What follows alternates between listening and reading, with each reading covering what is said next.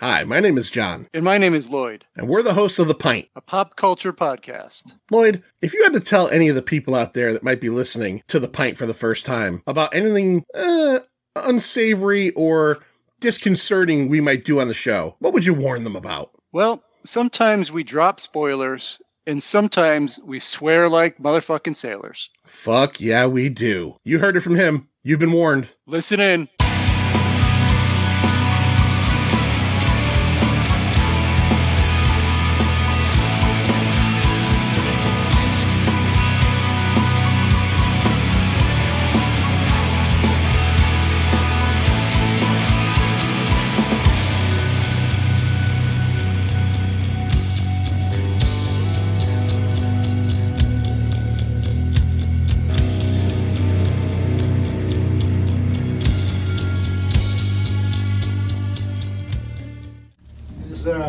15 day wait on the handguns, but the rifles you can take right now.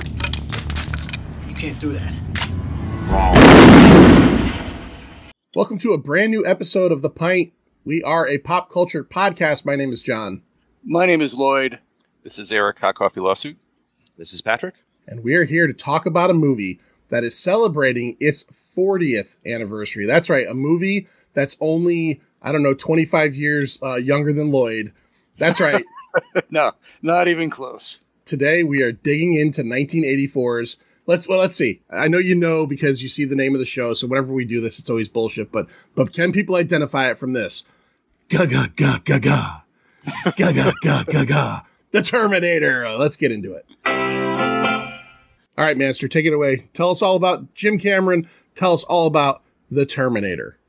Well, The Terminator came out October 26, 1984, uh, my high school graduation year. Uh, written and directed by James Cameron, known for the short film Xenogenesis, uh, production assistant on Rock and Roll High School.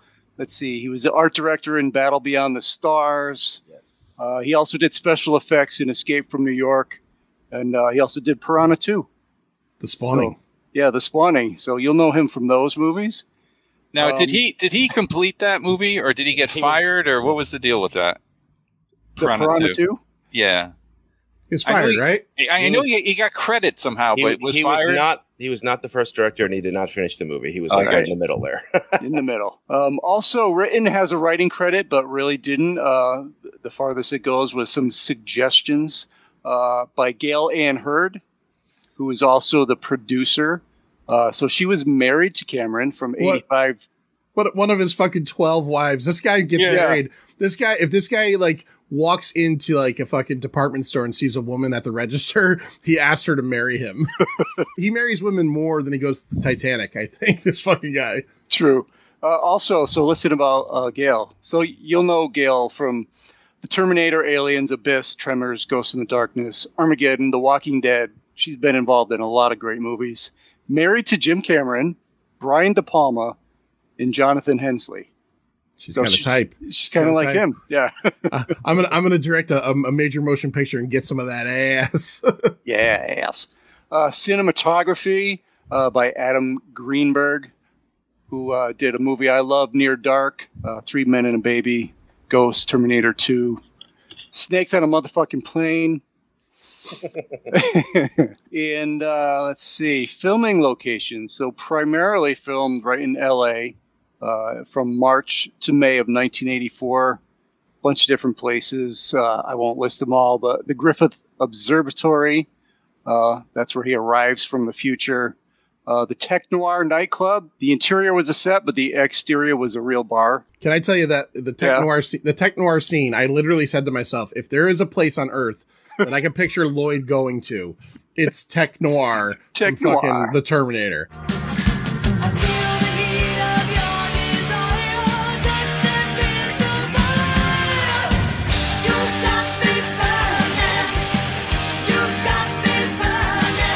Wasn't that '80s photo taken at Tech Noir? That famous Lloyd '80s. Yeah, the Miami Yeah, Vice Master. My picture. vice, yeah. We had a place that I went to called the Riot uh, in Hartford. Tech Noir adjacent. Yeah, Tech Noir adjacent. Yeah, uh, Carol's Restaurant uh, where they eat.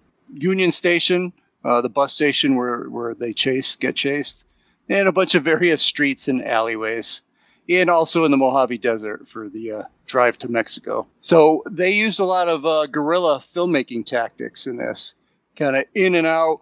I know I, I saw him talking about um, the scene where Al, uh, Arnold punches through the window. That when he steals the, the car in the yeah, beginning. when he yeah. steals the car, the side window, not the driver's. Uh, that was after window. filming was done, right? Yeah, Yeah, they had to, and they needed that that shot, and they just got dressed. yeah. they It, got it him the basically he said, "Here, put this uh, glove on and punch through that window." yeah, it's like, oh, me? Was it was that the Griswolds family truckster? Was it that one? yeah. Yeah. Okay. all eight headlights.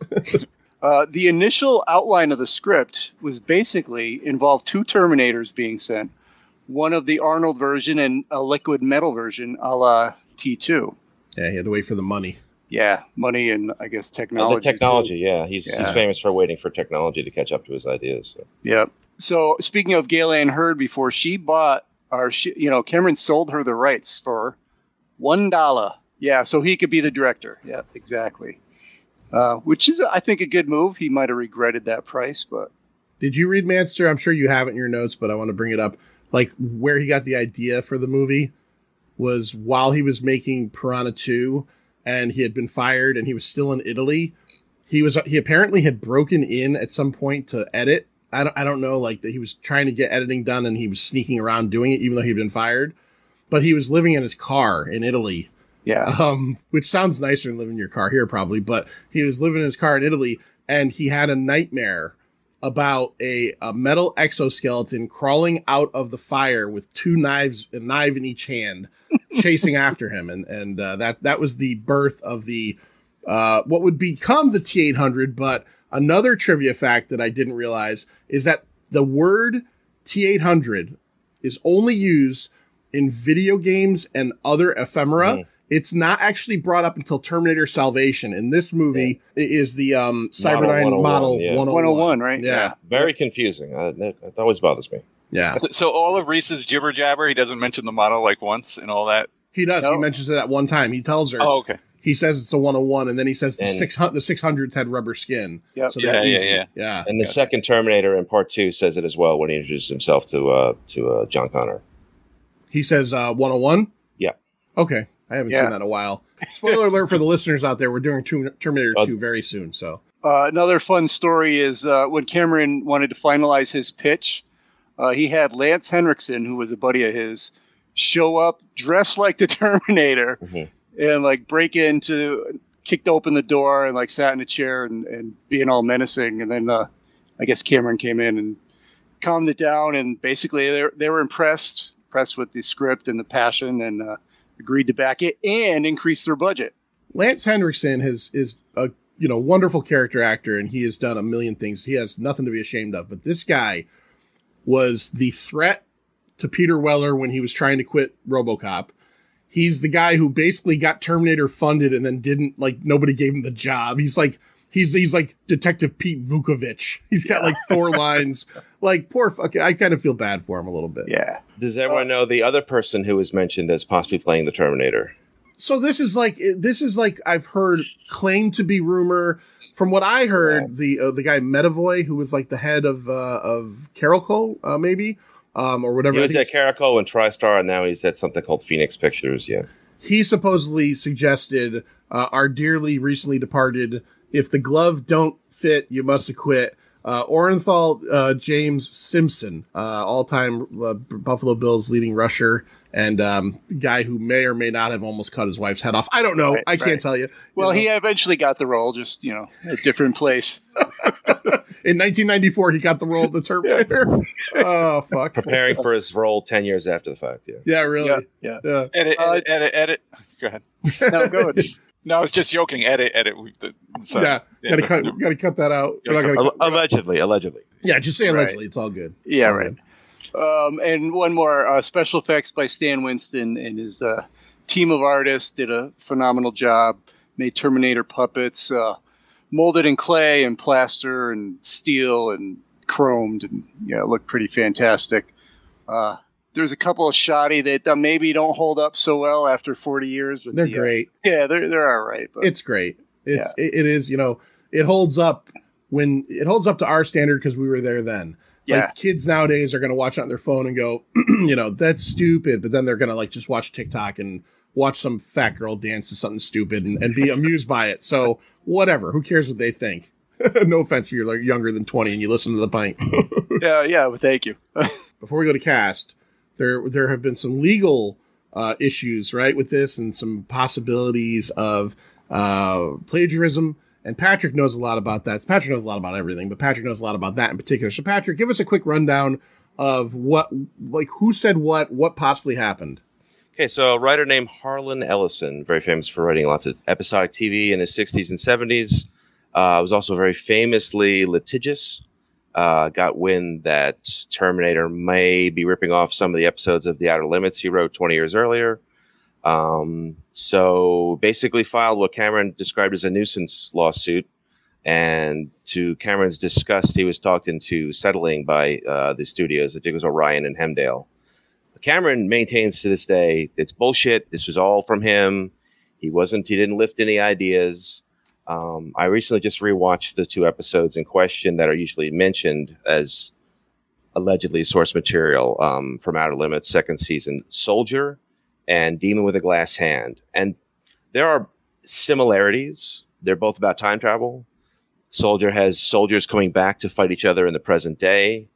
Demon with the Glass Hand has a time traveling cyborg um, trying to protect the human race, which that's more the T2, I guess, than T1. Um, but they're so different, and it's it's really hard to say that it was plagiarism. I think the main thing on Ellison's side would be that the Writers Guild of America has very famously arcane laws about establishing authorship. Like if you write 40% of a screenplay or something, you could claim authorship, even if it's vastly different in the final product.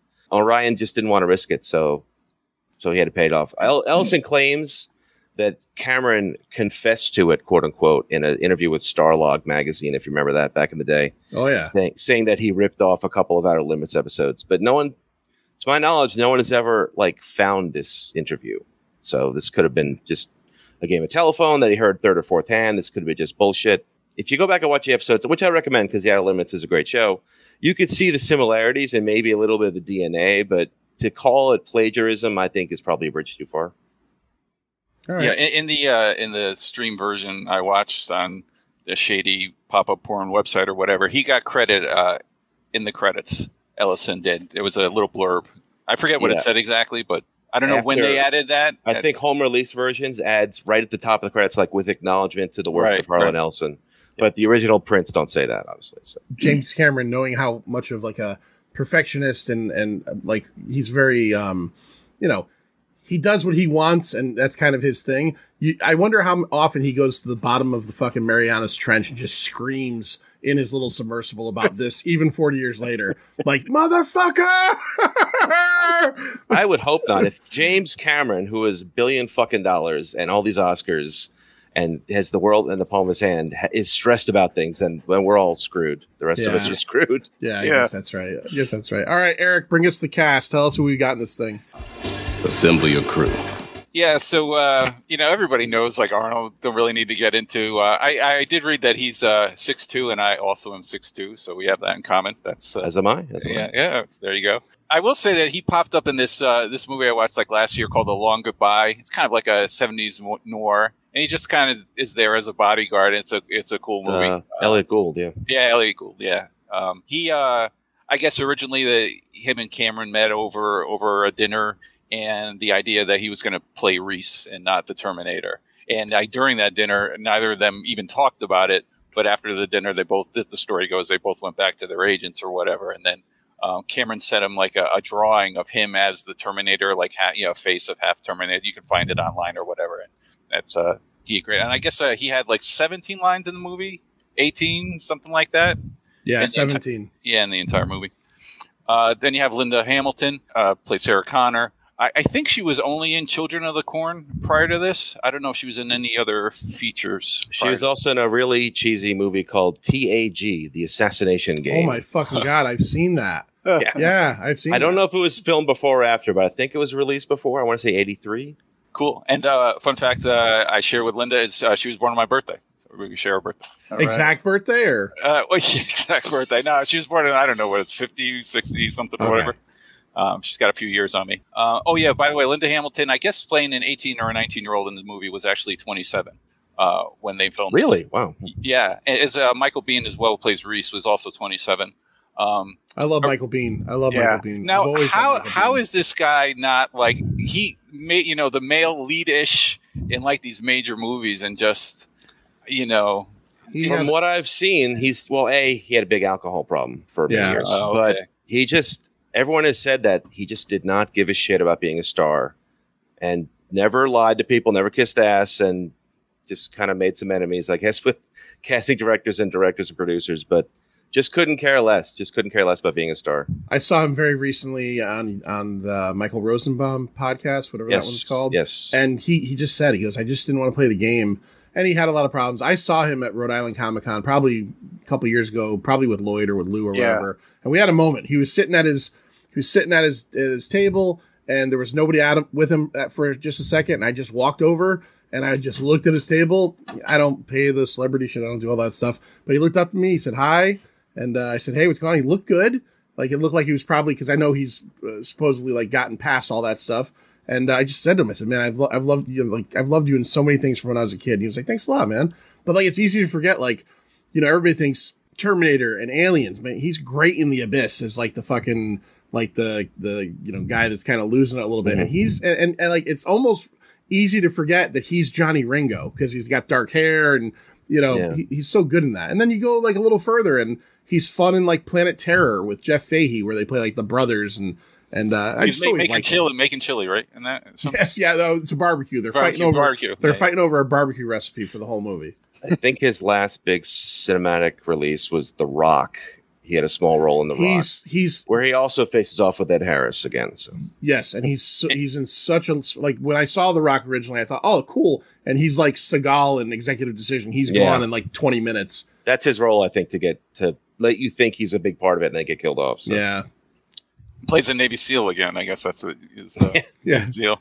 Oh, But- he is funny when talking about the movie Navy SEAls. He fucking hates that movie. yeah. I, I got completely uh bamboo not bamboozled. I I love the archive, but I went to the archive and they they released Navy SEAls. Vinegar Syndrome released Navy SEAls in this big old chunky box set. I haven't seen it since I saw it in the theaters probably two times in 1990. But I go to the archive sometimes and I get like that fucking like, oh, I gotta have this. I haven't watched it yet, but uh, I have a feeling it's it's probably not very good. Now I have a Blu-ray that takes up four other Blu-ray spots on my shelf because I can't control myself. I'm like Lloyd. It's a fifty dollar coaster. Yeah, uh, yeah, probably yes. So uh, yeah, Reese is uh, you know he's a time traveling uh, lover boy and is the Mr. DNA of the film because he gives more exposition and then you know during car chases, you know Terminator, whatever, laser beams, and he's just explaining the whole thing. Uh, awesome though, uh, awesome how they did that. Um, then quickly you have um, Dave Winfield. He played uh, uh, Lieutenant Tre- Traxler. Um, and Paul- Paul uh, Winfield. Paul Paul oh, Paul. I'm sorry. Dave Winfield was right field for the Dave Yankees. Is uh yeah, I don't know if Paul ever played, but um, uh, one movie I liked that Paul was in was Damnation Alley, 1977 movie with uh, uh, Jan Michael Vincent. Some futuristic apocalyptic thing, I guess you know, kind of jives with, with this movie. Um, and we talked about Lance Henriksen. He also plays uh, plays uh, uh, Lieutenant. Uh, what's his name? Oh, he plays a detective. Vukovich. Vukovich. Vukovich. Yeah. Yeah. Um, obviously, everyone know a bunch of stuff. Uh, Lloyd's Near Dark um, plays a vamp in that.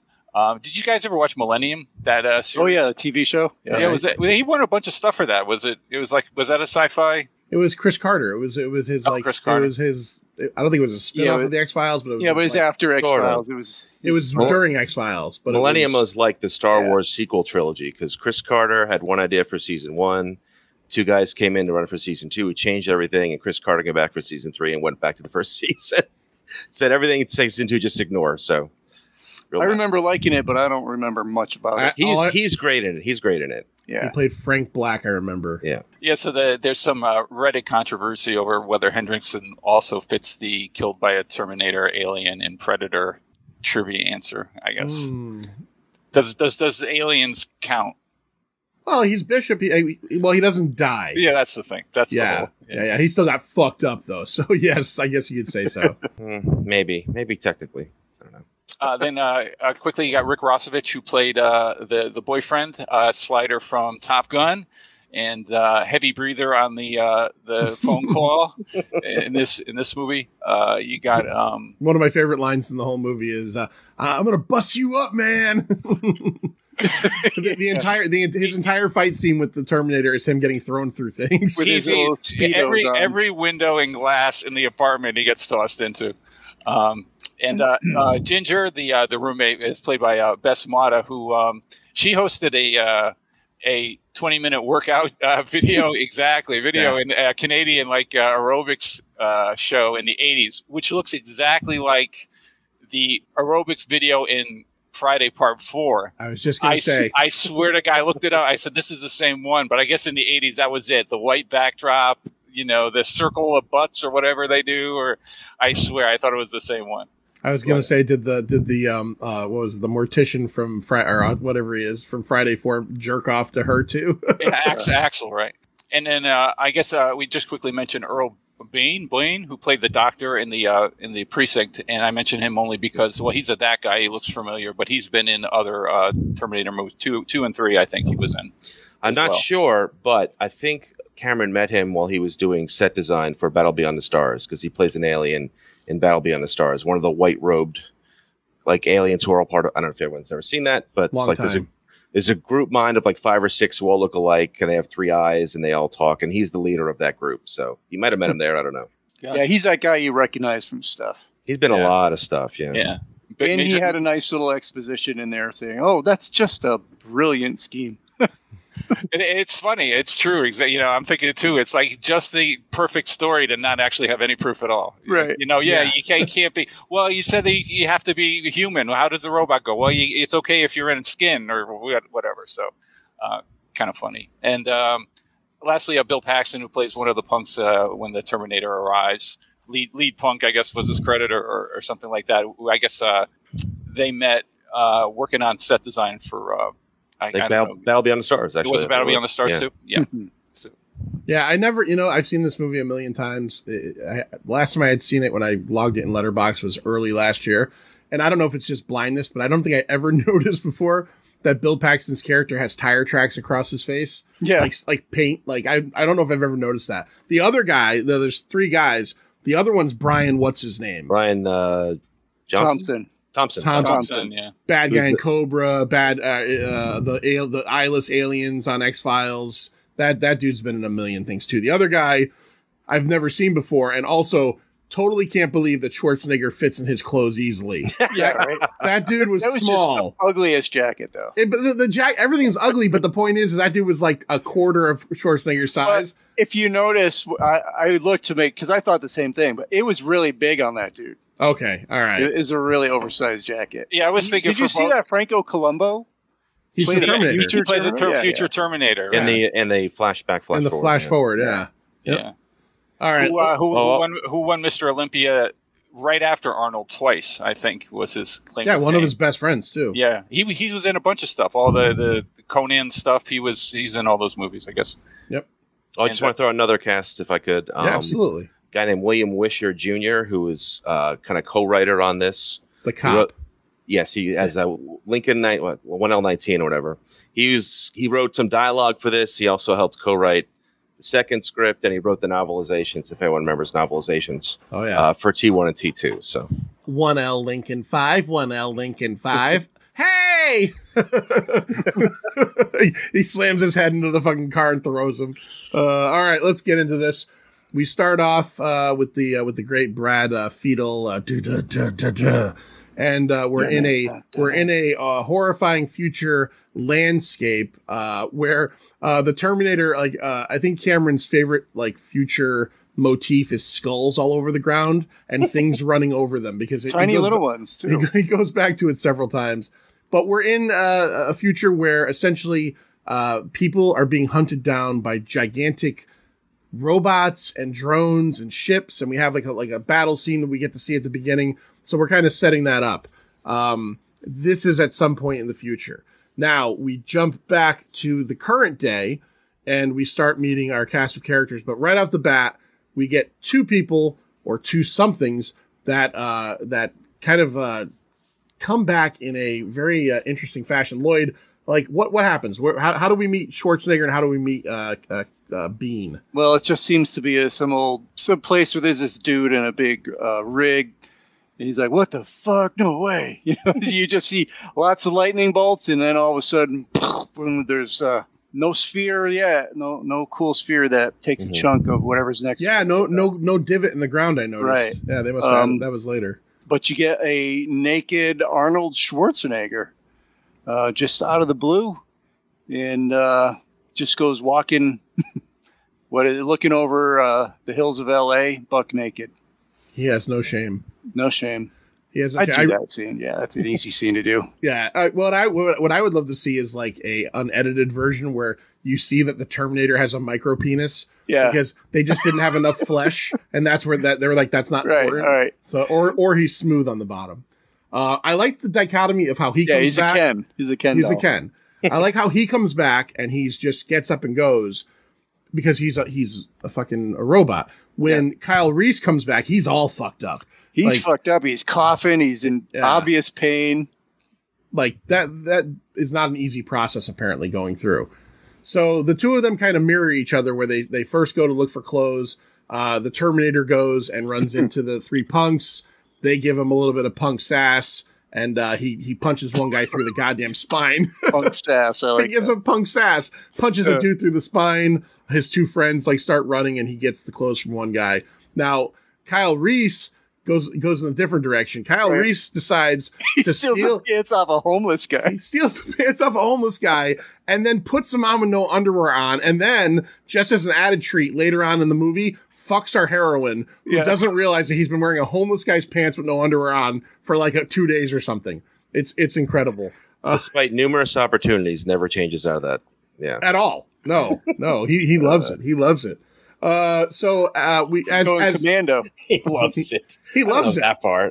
I think he loves it. And She just bang- the, the amazing good fortune that they, they steal the exact size they need, both of them. Like you Totally. said, the 150 pound punk wearing the 3XL jacket and, you know, those uh, tight fitting pants, whatever, fit him perfectly. He goes running through a uh, department store. Cops are chasing him around. This is Kyle Reese, uh, and in in his journey, you know, he he he ends up taking a cop, kind of uh, you know, accosting him, and he asks him what year it is.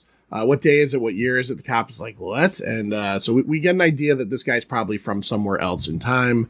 Uh, but also while he's there, he gets a, a bitchin' set fucking Velcro uh, Nikes that I guarantee Lloyd had. Yeah. I guarantee Lloyd had those Velcro No, I didn't have those. No, around the ankle yeah, Nikes. Those weren't Air Jordans, not yet. No. Uh, and uh, he also steals a shotgun. Cuts the uh, the the stock off the shotgun. uses a piece of rope and gives himself a, a trench coat as well. Has a little bit of a you know a hidden uh, you know he's got a kind of a school shooter like going on. yeah, Um, he does. he does. Let's just be honest about it. Um, all right. So the Terminator uh, now is uh, trying to assess his situation, uh, and he goes looking for someone and also equipping himself. So I'll start with Eric. Eric, he's going through the phone book. Who's he looking for? Sarah Connor. Every Sarah Connor in the Los Angeles phone book, which is only three, by the way. I don't. I don't, I don't believe that. L.A. Maybe I know. You know, I, I I read that LA had like back in the 80s, like 79 different phone books depending on the area. So it could be legit. You know, you're only looking at that one part of LA or He's whatever. like he's in like Glendale, right? yeah, Like- yeah, right, right. So he's looking for Sarah Connor. Patrick, he goes to a gun store. Give us a rundown of some of the guns he wants to check out and give Oh us a rundown goodness. of who the gun store owner is. the legendary Dick Miller, of course, who I am sure Cameron met as part of because Dick Miller worked for Roger Corman. I don't know how many movies, and that's where Cameron got to start at New World Pictures that Roger Corman owned. So he probably met through that. Also, Dick Miller basically would be in any movie you paid him to be in, essentially. um, so he gets let's see, he gets an Uzi. He gets uh, a combat shotgun. He tries to get a some kind of plasma rifle. Phase plasma rifle in the is- 40 watt range. is on back order. Uh, I guess not, not available yet. And Hey, just uh, what you see, pal. I guess the I guess this movie is meant to be. I guess you could you could interpret it as pro Second Amendment or anti Second Amendment, um, depending on your feeling. Because he just promptly loads the shotgun and blows the store owner away without even paying for it. So What, what my thought process on that was when Dick Miller says to him, "Hey, buddy, you can't do that." you know, yes, I care, whatever. He's wrong, he sh- and he shoots him. But the idea is like, well, like you, like he, just a murderous robot isn't the only one that could do that. Like, don't put your fucking bullets out like right there and then hand someone a shotgun. You're, you're you're literally like gas and fire, Dick Miller. I mean, I'm sorry, this, but this probably should have happened like 20 years ago at, at this rate. So he goes looking, Manster. I got a question for you. The woman, the first Sarah Connor, he goes to her house. First 35 year old mother. that woman was clearly 52. That woman was clearly 52. It was 1984, maybe 83. They filmed it. It was a hard life back then. People aged more quick. It's like frontier life, basically. Let me just Oregon Trail. Essentially, let yeah. me just interject.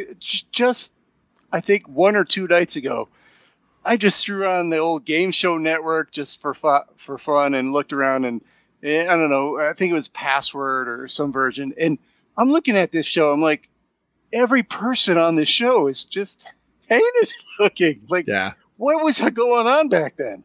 Like, Yeah. where were these people? Th- well, There's our, nothing our- like that nowadays. I think our perception of ra- reality has been manipulated. Everyone's Yeah. got plastic surgery or they got filters now, and we're just not used to seeing just normal looking people like you know us. Well, Lloyd's 50, what, 9, 62? he looks like that. This is, you're the one that's skewing the fucking worldview. All but, right, but I- when I they did, but when he does kill, so he he goes in, he busts the door open. Sarah Connor, she says yes. He busts the door open. She's clearly fifty two. He pops her, and then and then later we find out we find out from the police they're like thirty five year old Sarah Connor. was- Yeah. and I'm like, no, that did we Not miss? 35. We didn't see the second one. Was that no? That was Yeah. that one. The con- So- continuity girl should have caught that and just changed that to 45 or something. Yeah, So- I would have loved What I- it. what I did like about that scene is when he pulls in um, with his car, he he crushes like a, a truck, Much like just the the skull, much like you in reverse Yeah. what happens in the end. I thought Yeah. that was that was neat. So, uh, okay, Eric, walk us through. You can do both of them, okay? Kind of give us because we're, we're going to go through both of them now.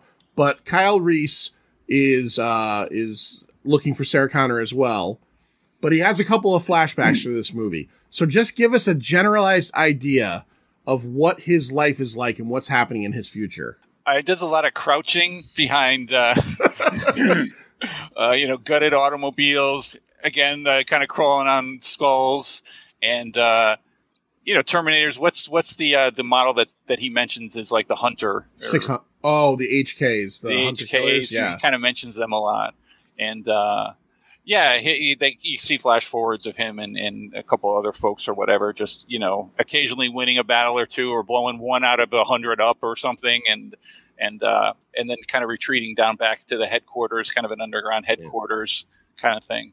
So uh, rough life uh, for Reese. What what do we learn about the Terminators in terms of what what uh, can detect them? oh, uh, dogs, Yeah. dogs, uh, which we see a few, uh, one or two in, the, When in he- this movie. When he goes to kill Sarah Connor, the the 52 year old, uh, the dog is barking at him.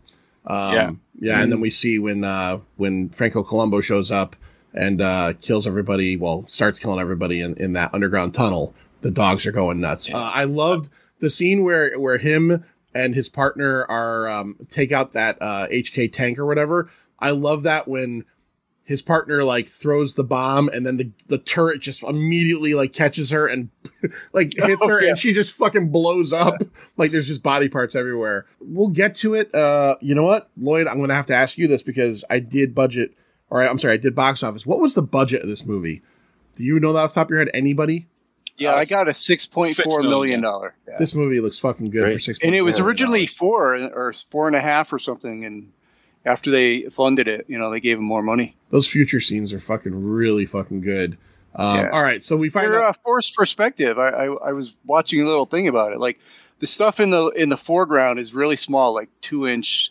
small, you know, little skulls and things, and the and then the middle was the the far away stuff was like really big, like cutouts, like cardboard cutouts painted black for to be silhouettes. Yeah, it was pretty It's- cool the way they did that all. It's kind of funny because uh, it was it said 6.4 million, uh, and Yeah. then just seven years later, T2 was the first movie to. I remember this is a big deal at the time to break a hundred million dollar budget, yep Yeah. which is now which is now you call it like you know a moderate budget. Um, with with uh, some of these movies breaking 350 million, but that's bizarre. In that short period of time, that his budget went up by a factor of like 20 or something. Yeah. Crazy. Yeah. Yeah, even Aliens was only like 19 or something. Yeah, very very Yeah, economical. very well. He, Yeah. he got a lot out for his dollar on those movies. Yeah, definitely. Uh, all right, so a couple Sarah Connors go down. We meet our Sarah Connor, uh, who is I think 18 or 19 in the script, as as was mentioned. Uh, she drives a scooter. She works at Abdow's Big Boy, which used to be on the Berlin Turnpike. Oh, I loved Abdow. uh, she she's a waitress there. Um, scene I don't believe at all. As a, as a fat kid, is when the kid puts the ice cream in her pocket. Yeah, yeah, no no no kid on earth is gonna fuck around with ice cream. You've got ice cream. You're going to eat it. You're not going to put it in a now. uh, Look, if it was like green beans, it would have made way more sense. But it's fucking ice cream, and that little fucking cretin, and it was purple. Like what was it? Was that It was like don't know. rainbow or cotton Rainbow. candy. I don't know something. So she's having a bad day. The other thing I really want to know in this movie, what's a burly beef? It sounds good. Well, It sound- apparently, apparently, no one ordered it, so yeah, nobody she, had she, the. she couldn't give it away. So I had the barbecue beef, ma'am. Are you going to take our order? And then, and then as she's fucking up everybody's order, her uh, her obnoxious friends like, you got to see this, Sarah. And Yeah. then she shows her the news uh, coverage that all the Sarah Connors in the greater Los Angeles area have been murdered in one day. With Uh, with great with great delight. Really Yeah, right. showing her friend this story. She's so happy. Yeah, you're Yeah. dead, Dead. baby. You're dead. so she she is re, you know reasonably worried because uh, she's only the third and two of them are gone. So she uh, she goes home. She's supposed to have a date that night, and uh, her best friend Ginger and her boyfriend Matt, aka Slider, you stink, uh, from Top Gun, uh, are uh, are going to be hanging out too. Her boyfriend and or date cancels on her. Uh, so she changes really quick and decides to go to a movie by herself, like a fucking goon. No, just Just, just, just quickly on that. I guess, I guess that was voiced by James Cameron on the answering machine. He's multiple voices in the movie. Oh, really? that- yes. I didn't know that. Yes, he's And I was just, I was just thinking he came this close to being uh, John Connor's dad.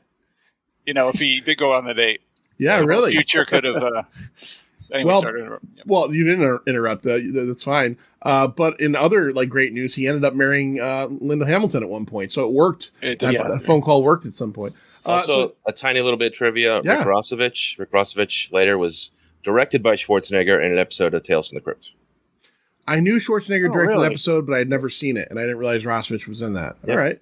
Um, so uh, so she ends up going out. She's gonna go get pizza and uh, go to a movie. And Ginger and Matt are gonna fuck. um, Ginger gets made up, re- like made up and dressed really nice just to fuck. Cause like I don't know what the timeline was, but like I don't know if they left the apartment. But anyways, so she goes and she's hanging out. She's having a, a personal pan pizza at a, at a pizza place, and she sees the news report about now uh, more of this happening. Um, so she starts getting nervous. She also is noticing that uh, that uh, school shooter uh, uh, Kyle Reese is Yeah. like kind of following her, and uh, he's kind of like checking her out from across the street. He's doing creepy dude stuff, right? All he needs is a van to really fully become a creepy dude. He is not good at following. He is not good at following. He He, doesn't even try to hide behind a, a telephone pole or anything. He just stares right at her. No, he is. You're, you're right. He's not great at it. Um, the Terminator finds out about the last Sarah her um, address. He goes to the apartment, and uh, what happens, uh, Patrick, to uh, to our loving couple after coitus? This is a very odd scene to me because for some reason, instead of just blowing them away, the Terminator decides to have some fun, tries to punch through uh, Rick Rossovich's head, puts a hole in the pillow, and then they tussle a little bit. I'm not sure. I guess to make it more exciting, but logic wise, it doesn't really make a lot of sense. Why does just break his neck or shoot him? Yeah, Um, but basically beats him to a pulp, scares poor Ginger, who runs away, and then she gets the Terminator remembers, oh, I have a gun, and shoots her in the back and uh, blows her away. Yeah. And then, Several then though, times. he realizes that it's not actually his target because he hears the voice and he finds the driver's license and Yeah. realizes that that's Lin- that's uh, Linda Hamilton. Yeah, now- apparently, unlike dogs, iguanas do not recognize Terminators. So no, iguanas are No, useless. he, not he- he was he was of no help. Hey, Pugsley, fuck you. You didn't help anybody. Ginger's dead. Slider's dead. uh, all right. Manster, she calls the cops, and the cops are like, uh, you know, well, she she leaves the pizza place, skips the movie, uh, she and goes goes straight to Tech Noir. tech noir because she's like, I'm going to meet a guy like Manster here. Yeah. Uh, I'm going to meet a guy who's 80s dancing. Did you? Did, did any of you just pay attention to the dancing in this scene? Oh, It's the so classic '80s, It's kind so- of side to side. It's just It- all white Yeah. people and What's- fucking like. yeah, it's a white what- white boy dance. It's What's even hilarious is uh, the fact they probably filmed it with no music at all playing, so those extras are all trying to do that to dead silence. Yeah, yeah, that's it's good. It's good. Um, so uh, goes over to Tech Noir, uh, and she's chilling. She calls the cops, and the cops tell her to just hang out there. She, she says- call her roommate for? Yeah, she calls her roommate and then the cops, right? Yes, and the cops are like, Yeah. just stay there. We we we're looking for you because we know what's going on.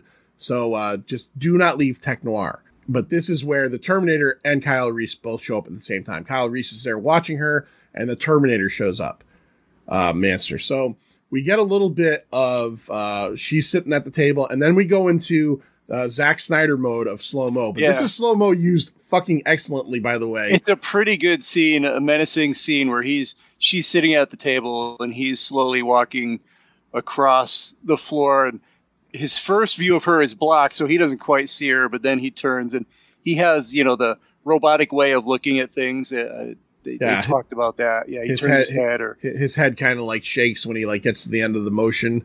yeah, Um, and then, yeah. then he then he spots that that luscious mane of 80s hair yeah. and uh, yeah, I think uh, I think that might be my target, and starts making his way, and in in yeah, perfect slow mo, you know, pulls out the gun, gets the sighting on her, but We'll say Sarah, is right Sarah's reaction time not the best. Not- no, she's just right. staring like, okay, She looks up like it's her waiter. It's like she doesn't really have any Yeah. sense yeah, exactly. impending doom. She's like, "Can I have a personal pan pizza? I didn't finish the one next door." um, so yeah, so we get the scene. So he he stops very menacingly. He pulls out a handgun with the laser sighting. Very all slow motion. As Eric said, she's got no fucking reaction at all. She's just standing there dumbfounded. Pulls the gun out, gets the fucking sight right on her forehead, and then this is a, this is awesome. I love this. Yeah, so as good. soon as Kyle Reese jumps into action with the shotgun, because we see him coming up from behind the bar, he pulls his school shooter trench coat open, he pulls the shotgun out. But then, as soon as he takes the first shot, it rolls into fucking regular speed, um, and he puts about three in him and fucking puts him right in the ground.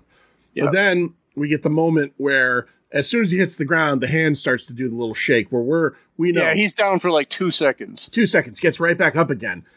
Come with me if you want to live, right? Famous lines used again in at least the second one, probably all of them, but at that point, he just gets dumb. Um, and he grabs her and they start to go. She starts to run away. Uh, the Terminator then pulls his fucking Uzi out and just starts spraying the fucking place. He's killing people left and right. Kyle jumps behind the bar. There's a girl behind Sarah Connor. They're running out. He kills the girl behind Sarah Connor. She weighs probably 78 pounds. Lands on Sarah Connor. Sarah cannot get the 78 pound girl off of her. She's trying. She's stuck under her. So now we get the exact same scene again as he approaches slowly, holding the Uzi up. He's gonna he's gonna cap her. And again, Kyle Reese bah, and blows him through the fucking front window. Um, this is a fucking great scene. Like That's this scene. You think so? Iconic, Uh, iconic. love it. I love it. The tech noir scene is incredible. So now the Terminator goes through the window. They get in the car. They start taking off. Uh, he gets up as well. Uh, he chases them. He's running. He's fast for a fucking 390 pound giant slab of muscle, whatever he weighs. I always forget when I watch this movie that uh, his haircut is different in the beginning than it is in the rest because he, he runs through fire and gets all singed up.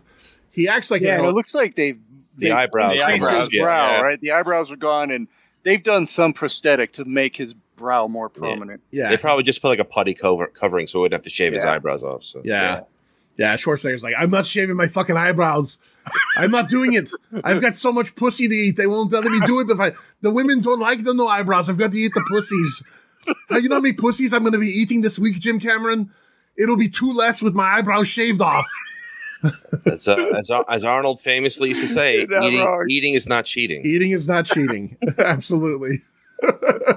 uh, fuck. Uh, so so he starts chasing them down. We get a we get a really good chase through the streets of L.A. Um, uh, Arnold ends up commandeering a cop car, and uh, they lose him. They switch uh, they switch cars over in a parking garage.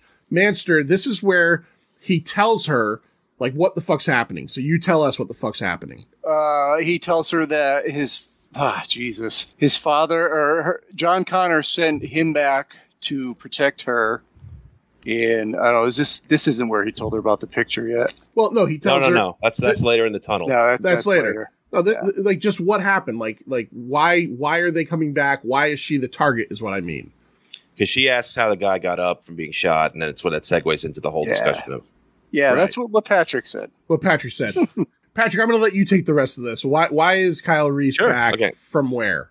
So he sketches out a uh, a future, or he's even he says a possible future. He's not sure um, where AI uh, develops sentience, uh, perceives uh, humanity as a threat after it's kind of given control of all of our nuclear weapons. Great timing, and launches a preemptive strike to wipe out the human race, and then starts to assemble kind of this industrial army of uh, murder machines to finish the job. And he is he grew up in that era, and he's part of this kind of ragtag army. Although are they ragtag because they, they won? I don't know how they go get from the point of just being a few guys crouching and throwing thermos bombs um, to Thermos winning. bombs. They look like coffee thermoses to me. To uh, to actually winning the war, we don't see that part of it, but it must it must have happened relatively quickly because he looks about the same age. Right. Um, but then says that he's been sent back to protect her, and that this entity called the Terminator is sent back to uh, take her out, and then explains why. It's because she is supposedly going to uh, mother the leader of this resistance army. All right. So he gets back. He chases them some more. We have another chase after this in the new car. Sarah has to drive while uh, Kyle Reese is, is literally operating shotgun. Um, he finally manages to fucking blast through the windshield a couple times, takes out the Terminator's fucking half of his face, and uh, Terminator drives into a fucking wall. But Eric, they get arrested, right? You know, this is the one spot of the movie like I just had a little quibble with because Yeah, he smashes the car and they have to, you know, they kind of stop and skid out before they hit the wall. But why didn't the Terminator just walk over and just finish Exactly. the job? Like, I- Agreed. yeah, that was my one little uh, whatever. Mm, But, I mean, Agreed. I, I thought I you know, and I feel like I've never thought of that before. But like I was like, did the Terminator run from the cops? Why? Why would he run from the cop? Is this Terminator afraid of jail? He's like, listen, listen, I'll kill him. I'll kill Sarah Connor all day, but I'm not getting fucked in the ass. I won't do it. I won't. I don't want to go to one of those places where I've got to blow guys for money, and, and I'm currency. I'm not doing that. Uh, I think that was a, that was a deleted scene I saw. So I the deleted scene with the Terminators getting fucking fucked in the yard. uh, they go back to the police station with uh, Paul Winfield uh, as the captain and uh, and our buddy Lance Henriksen, ex New York Yankee. ex New York Yankee. Uh, remember when Paul Winfield hit that ball and killed that bird? It was a big controversy. Oh, yeah. remember that? Yeah.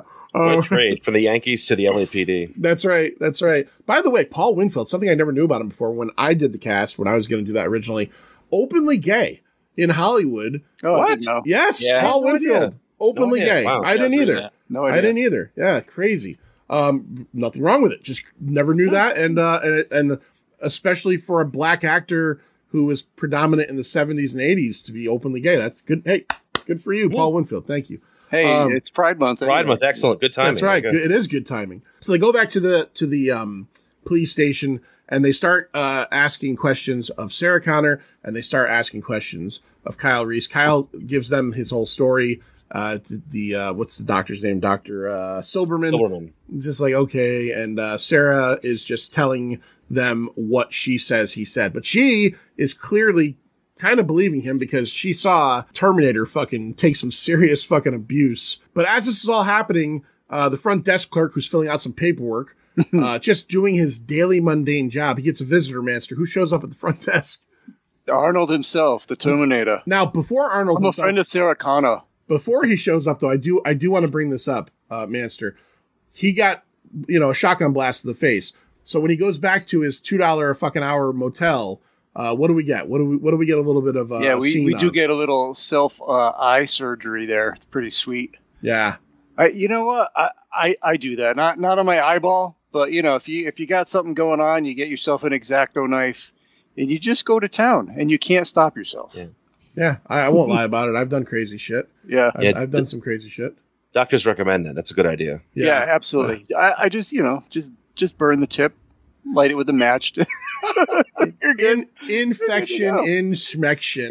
right? And then when you're done, just flame it up a little. You know, cauterize the wound. Fire it up. That's how I Fire it it. right the fuck up. Absolutely. is how I roll. Uh, he also his hands all fucked up, so we get a scene of him cutting open his forearm, and we get Yeah, to see pretty all the sweet. We get to see all the fucking the rods and the gears It's and a good everything. effect. Very cool. Very cool.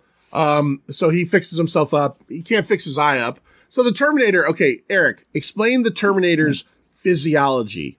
Like what is it made up of? Um, the I, the exoskeleton. The whole thing. It's a cyborg, right? So there's there's a metal exoskeleton, but what's on the outside of it?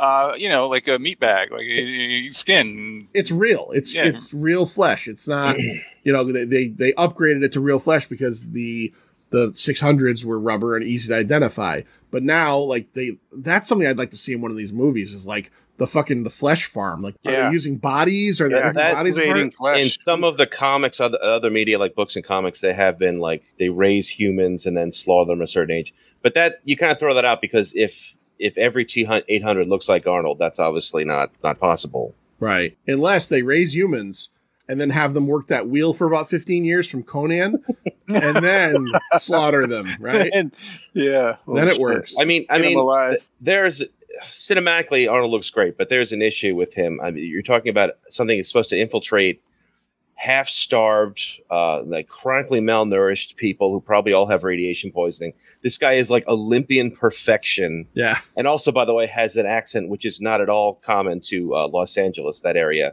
No, Sky, no, Skynet is uh, from Austria. You didn't know that? Skynet of is course, yeah, Austria is a leader of uh, artificial intelligence. yeah. Um, so that's a little weird, but you just throw that out because he's just so great in the role. He just logic kind of goes out the window in that case. Yeah. Do you, do you think it's like Alexa or Siri, where you could change the voice of the Terminator? Like, Homer, it- you can make it Homer Simpson.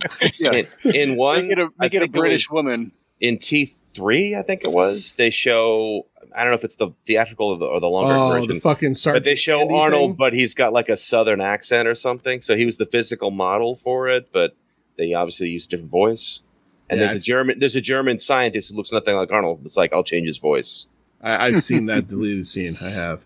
Uh, all right, so the C one hundred one or whatever it's called, the Yeah. T eight hundred shows up, and uh, and this scene I thought was great because what what does he say when the guy basically tells him to go Yeah, away? he said, "Can I see Sarah Connor?" No. Uh, okay, he's uh, originally was supposed to say, "I'll come back," but Arnold changed it to uh, "I'll be back."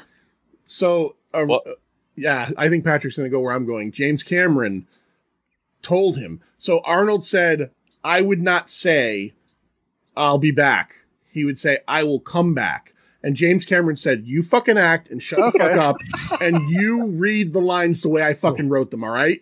He was on Stern not too long ago, and and he talks about that. And he's like, you know, because he said, I, I don't think I would say I'll be. It's a mouthful. I'll be back. I he said I will come back. And he said he said All right, so I had it backwards. He didn't think robots would use contractions. I think. yeah. And Cameron's like, you fucking just act. Like, just mind your fucking business and read what I wrote. Which is fucking but, but, hilarious. but meanwhile, the robot just said "fuck you, asshole" to the maintenance guy like five Right. minutes ago. So you know, But one of the all-time classic lines in all of movies. What I- happens next is he fucking drives right through uh, the station and crushes that dude. okay. Okay. But did you notice something? Did you Hmm. notice in the shot before when he's coming in, you see headlights, but when he comes in, the headlights are not on. Eric, did you notice that? I noticed that, and I also noticed the crash test dummy that he hit, and not the uh, Yeah. not the desk clerk. Yeah. Yeah. so when, when, when they do the wide shot, you see headlights, and then as soon as the car comes through, the headlights are not on. Uh, so just a little continuity there, but Okay. Yeah. it's okay. So this was made for six million dollars. So Yeah. um, so he busts in, and then we just get a scene of uh, of just unkempt fucking Ah, violence. fucking yeah, mayhem and violence in there. He kills every cop in this motherfucking place, including the two cops we probably think are not going to die, or at least not early. Uh, Winfield, uh, Paul, Paul Winfield, and uh, Vukovich, and uh, and the captain uh, there. I almost said Captain Terrell, but that's his name in Star Trek too. Star Trek. Yep. Yeah. Uh, just just walks through and destroys the lights. Goes through. It, it, this is one of the first scenes where we see the HUD, the heads up display of hi- the way Oh, he right. sees things. You know, the Yep. Terminator, and he just starts fucking killing everybody. In the ensuing chaos, Kyle and Sarah end up together again, and they escape uh, to to get out to the next spot. Where do they end up after this, Manster? Is this where they end up going to the hotel? Yeah, No, they the end up the tunnels in the tunnel first, Right. and then the hotel after. All right. What happens in the tunnel, Master? Uh, she's really cold, and uh, you know, they Hey, they gi- give her snuggle your and coat, Reese. I mean, what he's wearing this Yeah. trench or whatever, and she's freezing. they, Give right. your coat. He takes Uh, off his homeless pants and drapes it around her shoulders. Let's his schlong hang out. She's like, she's like, thank you, but these smell like a fucking bum's dick. Uh, and, and I guess this is where um, tells her about the picture. Every line, every curve. Yeah. No, well, that's that's Yeah. in the hotel room. Oh, the hotel. Is that in there? That's right. Yeah. Okay. Well, they talk about shit and they fall asleep, and, and she leans on him. and then Yeah. they have the he. I think the flashback where he's in the tunnel and the other Terminator comes in and Yeah. wastes people. yes. So they end up eventually ending up at like a uh, like a motel, and um, Tiki Motel. At this point, the Tiki Motel. at this point, Terminator is still looking for them, and they start to do the very romantic activity of creating pipe bombs. Yeah, Uh, that's uh, on a date. That's called the Ted Kaczynski move. Um, I like they how he. I like how he just leaves her to go get the stuff, though. With yeah, you just hang, you just hang out here. I'm Can you even buy for four mothballs anymore? Oh, you can buy mothballs. Yeah. Yeah. If you need any mothballs, by the way, and my, my grandfather died 25 years ago. but, Yeah. like go to his house and go in any drawer and you'll just get a scooper. My I, as a kid, I just I used to stay over there on weekends sometimes, and I just didn't I didn't know what mothballs were. We didn't have them in my house, but everything everything in my grandfather's house was covered in mothballs. Yeah. Uh, I, I could smell mothballs right fucking now. Yeah. yeah. I have uh, never had a mothball in my house. Yeah, no, because you're not my grandfather. Right. He had them all. Right. He had everyone. he, fucking great collection. Um, so they start making the pipe bombs. He does. He leaves her, and it's like, you know, oh, don't worry, he he won't find you here. Um, and then in the scene, so in 1984, my father took me to see this movie. I think it was the first R-rated movie I ever saw in the movie theaters. I was nine years old, and uh, my father, you know, probably just like typical 80s misguidance, took me to see the Terminator at nine years old and had no problem with me watching all the scenes of just crazed violence. But as soon as Linda Hamilton's tits came out, and I shit you not, because I can tell you where this was, and Manster, you know where it is, maybe Eric does too. The Dollar Theater on the Berlin Turnpike, right? You know what I'm talking about. Sure. Uh, we're watching this movie, and then it's very apparent that they're about to fuck, and her shirt comes off, and my dad literally says to me, "Turn your head." No. And I, oh yeah, I turn, I turn my head, and uh, and then he's like, okay, you know, you you could you could watch again. Next scene is the Terminator fucking like ripping someone's brain out of their head, like like, like forearm deep into someone's like skull, and he's like, oh, this is great. And then like Linda Hamilton's nipple makes an appearance, and I can't see it. Um, so much later on home video, I always love their sex scene because I always laugh and say that he she killed him.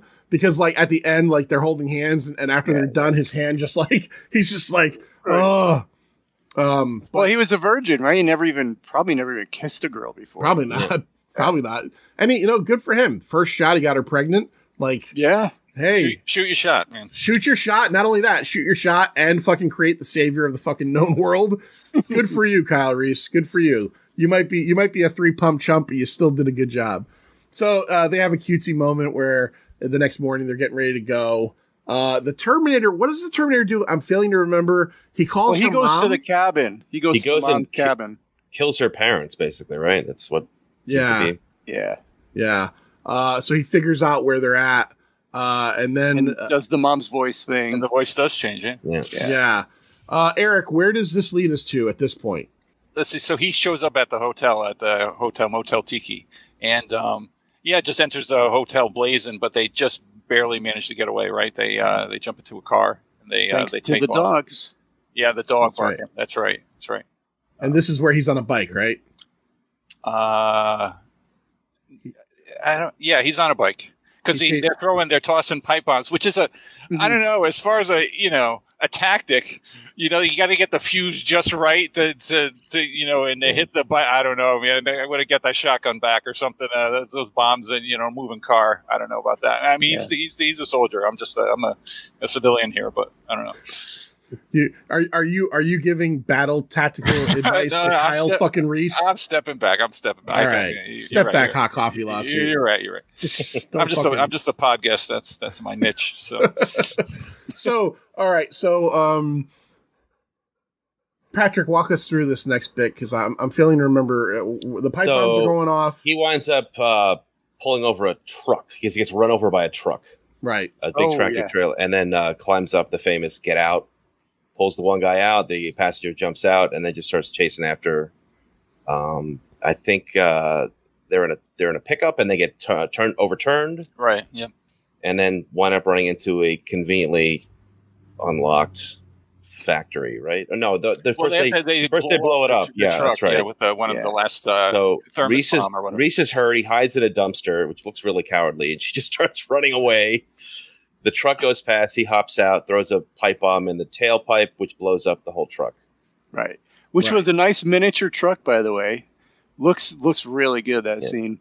But But you uh, can see the rear projection a little bit when she's Yeah, running she's away running from away. it. But, but that's, they you actually know, had to do it bad. twice, I believe. They blew up the first time, and the chain reaction they weren't expecting, and it was in the wrong order. Uh, so they had to rebuild the truck and do it again, and this time it just came out perfect. So this is where they end up in the actual um, factory, uh, which Yeah. I which I read while I, I don't know maybe I should Oh, have known it this. should say this is Arnold's last scene because he comes out on fire, and then after that, he's replaced by the stop motion Correct. and physical Yeah. prop of the T eight hundred. Yeah, yeah, which is great and I Because you think for a moment, you know, that the the movie's ending because he falls down in the fire and just completely burns. right. At what point now has Kyle already been like uh, grievously injured? Because he he gets hurt first and then blown up, or does he just get blown up? he's hurt when I think a pipe bomb goes off too close to him um, because he's hurt. Because she remember she screams out, "Kyle!" Well, she also Right. sh- he gets shot uh, when when Or maybe it's he gets shot. okay, Terminator's following on the bike. yeah. Right. He shoots Kyle while he's trying to drop a bomb. Right. So they end up in the um in the uh, Terminator compression factory. factory. yeah, yeah, yeah. Which which I read somewhere. I don't know if this is true or not, and I feel like maybe I should know this, but that it's supposedly a Cyberdyne factory. Is that ever said? Has anybody ever heard that before? They cut that out, right? All that that plot. That might be. There's an earlier scene they cut out where actually Sarah's talking about, well, we should find who made these things. We should stop it. And Kyle's like, that's not my mission. I'm not supposed to do that. It's too Okay. dangerous. But I don't. That may have been added later on that it was Cyberdyne, but I'm not sure if it's ever said in the movie as it's Sansa's finished product. So. I sometimes when I do when we do these shows, I'll I'll scan the Wikipedia plot, you know, just to refresh things. And I thought it, it- but again, that's written by anybody. I understand that, but it said Cyberdyne Factory, so I just wasn't sure if that was something that was Mhm. solidified in in like a sequel or something. But it doesn't matter. Um, he gets in, uh, and uh, Kyle essentially ends up uh, sacrificing himself by shoving a pipe bomb into the uh, Terminator's into the- pocket. Ter- Terminator's pocket, right? into his hot pocket. And uh and b- b- gets blown up, right? Like shrapnel goes everywhere. Sarah catches a fucking where does she get it in the leg? She Yeah, catches she like a, gets the leg. She gets a robot femur up her ass, and uh she goes down, so she can't walk anymore. that was another plot point that they cut out. Originally, um, the Terminator was going to check her the leg of the Sarah Connors for like a steel or some kind of yeah, Yeah. read that. I I read that, yeah. Like he knew Sarah Connor had uh, ice skating injury when she was a kid, and had a uh, bolts in her ankle or something. And the I thought it was, I yeah. thought it was this injury at the end of the movie that they were referencing. Yeah, there were different versions. From The one. I read, the one I read was that they knew that she had hurt herself as a kid ice skating, and she had like a rod in her leg. So like he- after he killed the Sarah Well, Connors, he was going to rip all their part skin of off. the uh, one of the time conundrums. Yeah. So I mean, it's weird that he would know something so, so, so specific, Yeah.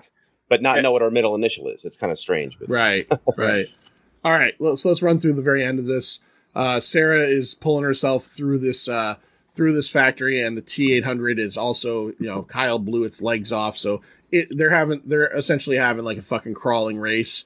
Um, she crawls up, she cra- she crawls up and under through. a hydraulic press, that's maybe six inches. yeah, something I couldn't fit through. Yeah, she gets she gets through this hydraulic press and gets herself all the way to the other side. Has to drag her fucking dead leg like out of it, and the Terminator, um, which you know should have like onboard computers and be like, I shouldn't crawl through this fucking thing, but is like, fuck it, I'm gonna crawl through this fucking thing.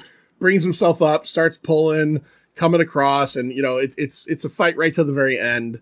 Um, and just as he's you know uh, reaching out to get her, almost snatching her, she hits the button, uh, says you know you're terminated, motherfucker, and uh, and he gets crushed in a uh, in a hydraulic press in a giant like uh, what do you want to call it like electricity and lightning everywhere, and just a cool scene. And Which, uh, which coincidentally is what they told me my last job, my last day. What's that? Oh, You're terminated, fucker. That's You Mother Humper. Mother Humper, yeah. don't call HR on us, Eric. You're terminated, fucker. Um, so yeah, and the arm uh, kind of like is sticking out, and this is going to be a. Uh, we'll we'll get to it when we talk about Terminator Two, uh, very soon. But so there we go. We jump forward a few months, and now Sarah is in Mexico in a jeep with a dog. She's got a dog. She's smart, and uh, she's clearly very pregnant. Uh, she's she's very pregnant, and she stops at a, uh, a like kind of like a little gas station, a, a bodega of some sort, and uh, she has a conversation. They talk about a storm coming and all all that metaphorical shit. But Manster, uh, what does she have? A little, or what does a young boy do? Yeah, a little young Mexican boy uh, takes a little Polaroid snapshot of her at the time where she's doing like a little monologue in her head, I guess. No, she's at a tape And, uh, recorder. She's Oh, tape recorder. That's Yeah. what it was. Yeah, yeah. So, and she's literally thinking about Kyle Reese, talking about him at that moment, uh, and that was one thing that he said to her when they had the little talk about the every line, every curve. Like, I want to know what you were thinking at that moment. Right. So, Yeah. which was a nice little callback. So that's the Terminator. All right, we're gonna get into box office and our rating, but real quick, couple minutes, Patrick. We talked about this earlier, I think, before we jumped on. Give us a couple of the paradoxes uh, in this because it's a time travel movie. They're all bound to have them. So, what, what? Give us a couple that happen in this thing. So I guess the best uh, this is known as a predestination paradox, or often a bootstrap paradox, where in trying to prevent something from happening in the past, you actually cause that thing to come into existence in the first place. In one sense, there should never be any sequels to this. This is a closed loop storyline. Like there's no reason, you know, they she cannot stop Skynet from existing, but Skynet cannot stop John from existing. So they're just looped together in this kind of causality cycle. Um, the second movie, because it was, you know, wanted to make money, just threw that out and said, no, you can actually change the future. It's okay. Um, which completely contradicts this movie. But again, it's such a great movie. You just, you don't think about it. Yeah. Um, but another aspect is history seems to be less fragile than they imply because the Terminator casually murders about 50 people Yeah. who all had their own lives, who could have had children who cured cancer or maybe got elected president, but we'll never know. And that seemed to make no effect. No effect. Maybe it's because there's going to be a nuclear war and their lives would have been destroyed anyway. But it is odd that that John in, John specifically is very important to the future, but most of us are not. So Well, as long as the Terminator didn't kill any butterflies, I think that's the. yeah. yeah, so it, it tries to kind of have its cake and eat it too. It says time is very fragile, but also very durable at the same time. So I, I always have trouble with the whole um, if Reese was killed before John was born, how is he there in the future to be sent back? So uh, well, because he hasn't been born yet. So instead of it's basically like like there's two of them running around at some point, or no, there's always a they imply that he was born uh, closer to the war's beginning, or maybe after the war happened. So his parents are still out there somewhere. They're they're going to have him at some point, um, and then he will. If you if you if you like unscroll time from like the past to the present, he just appears fully grown. It lives lives for a couple days, is killed, and then years later is born and grows up, and then vanishes when he goes into the time displacement uh, machine. yeah. So- That, You want to watch Primer after this? Primer do you got? Primer's so good. yeah. All right, all right. I have a headache now, so uh, thank you, Patrick, for uh, for running through that. Uh, let's talk about the box office real quick. This country, you've gotta make the money first. All right, box office for uh, what do we have here? Jesus, what was the uh, you know I fucking Six four. suck. Six four. so so uh, 1984 weekend of uh, June 4th to uh, six four. You said right? Is that the Yeah. Yes. yeah, but whatever. Uh, number five uh, in the box office that week, uh, out for two weeks, two million dollars. Uh, Thief of Hearts, which I think was Oh, Steven Bauer, David Caruso. okay. I, yeah, that's the guy from uh, Scarface, right? Yeah, I thought so. I remember. I remember very clearly the poster in my video store. All right, uh, number four, out for six weeks, two point eight million dollars. Places in the Heart. Uh, something I've never seen. It sounds. I don't know. Sally Field. Sally Field. sorry. Oh, I think Yeah. you're right. Yeah, yeah, yeah. Um, it next three movies all opened that week. Uh, two point eight three, two point eighty three million dollars. Uh, at number three, a movie I'm sure young Manster probably jerked off to quite a bit. Body Double. Body double. Yeah, Manster probably yeah. probably snapped off a bunch uh, that time. Uh, also opening four point oh million dollars, so four million dollars. Um, I guess it's a uh, I don't know what you want to call it, a compilation of movie scenes. Oh, called- Terror in the Aisles. Yes, I Yes, I love that movie. how did how was that number two ever like in, in a movie theater like I, I i could see like that being a big rental but it was number two that weekend There was Um, a different. They had a bunch of those back then. There was a couple called That's Entertainment, which were all like MGM musical scenes. It's literally just a montage, and people would go to see it. You know, sit Yeah. two hours and watch a clip a clip show. i remember one from when i was a kid that had cheech and chong in it and like dan Aykroyd was in it i don't know what that was called but like i, I used to rent that a lot but yeah in the movie i know Uh, yeah, It came from Hollywood. yes that's I, something I like i've as a kid i watched that all the time uh all right and opening just above that at 4.02 million dollars uh, the Terminator. Oh, look at that! I wrote it down. Six point four million dollar budget. Uh, over. Look at that. I'm not an asshole. And overall box office of seventy eight point three million dollars. So it was a fucking hit, and it uh, it spawned uh, fuck like four sequels and or maybe five sequels at this point, and or movies in the line, a TV show, comic books, and the whole whole bunch of other stuff. It should say surprise hit. Nobody thought that was going to be a hit. That was just going to be like junk for two weeks, then on the on the video or cable. But very big hit. I remember Siskel and Ebert at the time did a review of it like two weeks after it came out, almost begr- almost begrudgingly because they skipped it because they didn't think it would be anything, but it kept doing very good business. So they did like a belated review of it. apparently uh, Schwarzenegger was interviewed on the. the- It took they, this movie had extra pre-production time because Schwarzenegger was making Conan the Destroyer, and so they they had extra time to produce uh, get pre-production done. And on an interview on the set of Conan the Destroyer, he's he's wearing the Conan gear, but he's wearing. I guess the shoes from maybe he was doing a, a fitment of of his costume for this, and somebody had mentioned his shoes and said, "Why? What are those shoes all about?" and he said it's for some dumb shitty movie I'll be making when I'm done with this. Like and like it, it was the Terminator, Oh, uh, and even even he said because he said when he signed up for it, he said he just thought it was going to be you know like this this thing that didn't matter. Uh, spoiler alert because I don't know if the episode will ever be made, but me and Eric months ago were going to do a triple T on Conan the Destroyer, which I had not seen since I was a kid, and I love Conan the Barbarian. And that's a stupid, dumb fucking flick. That movie's terrible. Uh, I love Conan the Destroyer. I don't care. People hate it because it's not as it's goofy and funny, but I think it's I think it's great. Eric, where did you land on it? I got to ask. I know it was a while ago, but I had such a hard time watching that movie. I was, uh, you know, it's like it's there. You know, I, I'm doing uh, my uh, stew. Eh, we, uh, it's, uh, it was, you know, two two point whatever ish. I don't know. I didn't hate it. I mean, you know, uh, it was, eh, you know, I don't know. Yeah, it's my eh uh, bucket. All right, so you would you would have given it a tolerable. I would have given it a trash. yeah, yeah, yeah. I, I would have given it a trash. All right, let's rate this thing. Little Hand says it's time to rock and roll. Bring the noise. Zero being the worst thing ever, five being the best thing ever, quarter and half scale optional. I'll go first. Fuck it. Uh, look, I have great memories of this movie.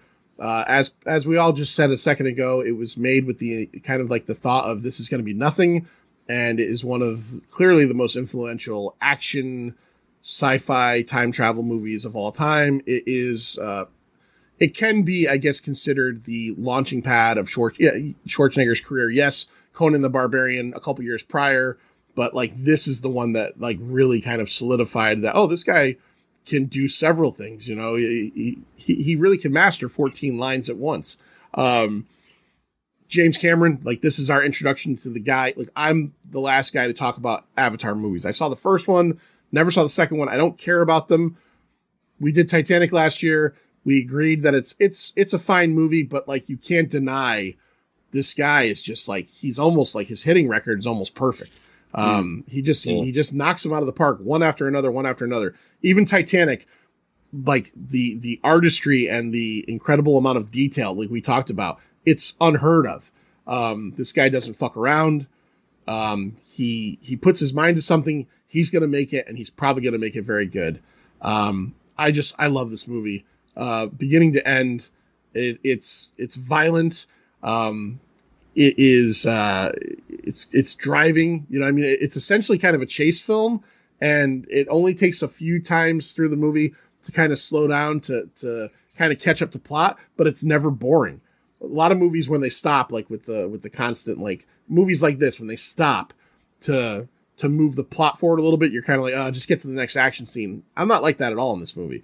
I actually want to find out more about Kyle Reese. I want to find out more about um, Sarah Connor. I want to know how to make a pipe bomb. I want, yeah, I, I, I, I, I want to know how to make a pipe bomb. I, the, the Ted Kaczynski. Uh, I'm, I'm a five all day. This is a five for me. I absolutely love the Terminator.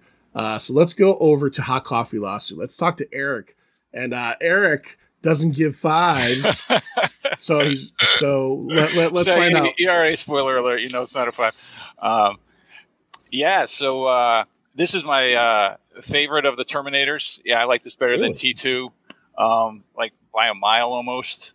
I, I, get it's almost like you know you, you know where maybe Generation X like ended and you know Millennials begin because Millennials are all about the T two. I don't know for me, um, you know the story is so tight. The the concept when I was a kid was just you know how are you going to kill this thing? Like it was it seemed like new, completely. You know, I'd never seen anything like this before, and um, you know at the time and still now the special effects are you know even like the lightning the, the light lighting effects the lasers when they land.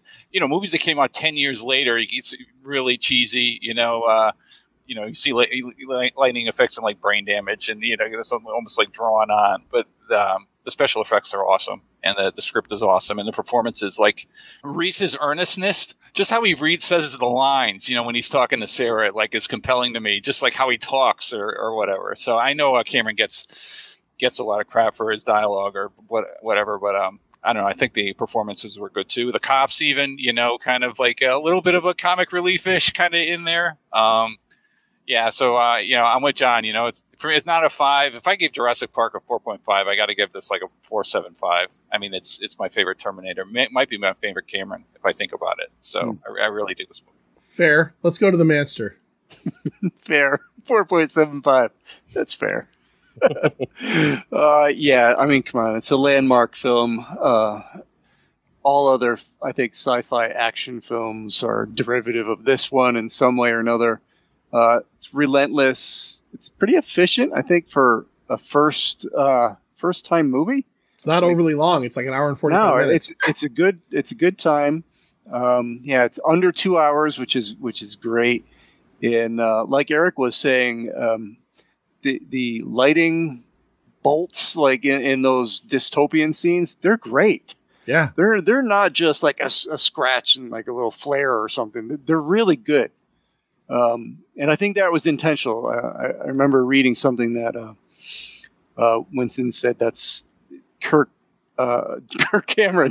Kirk Cameron. Jesus wow. Christ. Jim, Jim, Cameron was very specific about about those. I, I want to see Kirk Cameron's Terminator. Yeah, right. Um, yeah, like the Rapture series. Um, yeah, and and what else is endearing about it is the low budgetness of it. And you know, the scene when he's doing his eye and then it's she, you see just the the sculpted head it's kind of disturbing looking because oh, yeah. you can tell it's Arnold, but it's so smooth and it's just and it's so fake looking. But you know, it just has that 1980s quality that that is great. Um, like I said, yeah, a lot of thought put into it. It's a smart story, and whew, I want to give it a five, but I want to leave room. So I'm going to say 4.75 Leave room for what? Mac and cheese or ice cream? what what is this Thanksgiving? What are you leaving room for? You get dinged because the Terminator, do you know, after the crash, he walks away. That's the ding. That's the two five ding right there. Okay, all right, four point seven five. All right, Patrick, take us away. I guess I'm a little harsher on this. I'm, I'm kind of like between three seven five and four. I think good it's very Lord. good. I just feel it's overshadowed a little bit by T two. Um, maybe that's not fair. Judging the movie in and of itself, it's probably a four star film. Um, like like everyone said, it's very efficient. He gets he gets like every penny of that tiny budget is on the screen there. There's nothing. There's no waste in this movie really. That's why a lot of those subplots are trimmed out because he just he just wanted to focus on the pacing and the tension.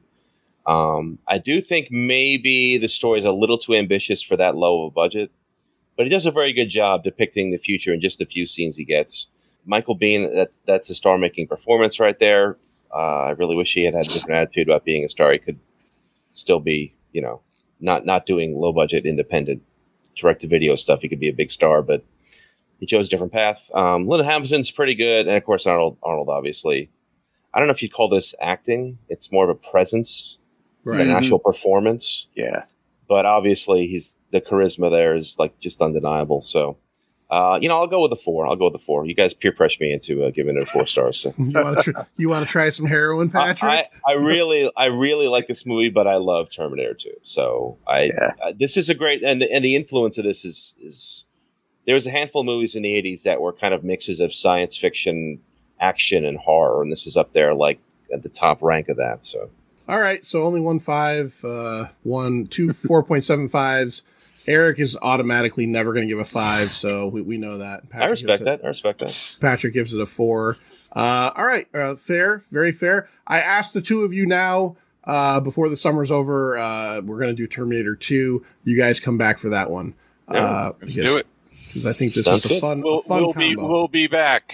Yeah, Oh, boo! We'll we'll come back. Shut your We, we will come back. Shut your fucking mouth and read what I wrote. All right, Master, tell everybody where they can find the pint and then say the words. Uh, Google us. Uh, you'll find us anywhere on any podcatcher, uh, Facebook and YouTube. It's the Pint of Pop Culture podcast on Instagram and Threads. It's at the Pint Podcast. Give us a review if you if you if you like us. Pretty pleased Give with us a review, man. There's just not enough reviews out there. Nobody gives us reviews. I'm fine if you give us a three. I'm fine if you don't go Eric and just give us a 4.75. But like next time you're on your laptop looking up your OnlyFans or whatever you're doing, just drop over on Apple or any of the podcatchers and just say, I like this show, five or whatever. Like, yeah, I just I would love it so much. Yeah. And Patreon, uh, www.patreon.com backslash the pint. We have two tiers. Uh, you know you want to do it. Just do it. Do it. Peer pressure. Do it. Give it a four. Give it a five. See ya. It's over, Johnny. It's over! Nothing is over! Nothing! You just don't turn it off!